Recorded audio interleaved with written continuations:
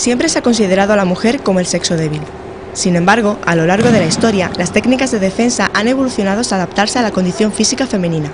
El sistema de autodefensa global, conocido como SAG, agrupa gran parte de esas técnicas con el objetivo de conseguir que las mujeres dejen de sentirse víctimas. Eh, la autodefensa femenina no puede seguir unas reglas como siguen las artes marciales, por una diferencia de constitución. Una chica tiene tan solo una oportunidad de defenderse y es coger al agresor desprevenido y en el primer ataque dejarlo inconsciente, dolorido, llorando.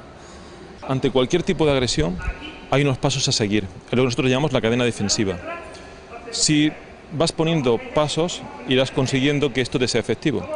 El primer paso sería prevenir. Si no puedo prevenir esa agresión, lo importante es huir. Si mi agresor me impide la huida, mi actitud siempre será una actitud defensiva, pero desde una guardia oculta. Una vez que me he defendido, el siguiente paso sería huir, retroceder y refugiarme. Y después de esto, y muy importante, siempre denunciar, porque con la denuncia es como trabajamos la policía. Es como podemos ser efectivos para evitar esa agresión o evitar posibles agresiones a, a posibles mujeres en el futuro. De vuelta al curso, en la parte teórica de la defensa femenina se intenta conseguir la adecuada actitud de alerta. En la práctica se busca la mayor efectividad a través de técnicas sencillas de defensa.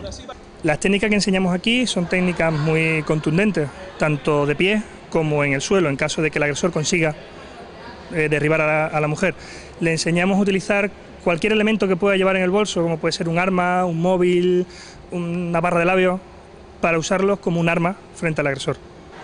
El curso me ha parecido muy útil porque nos enseñan técnicas muy fáciles que pueden resultar muy útiles en un momento de tensión y sí, repetiría.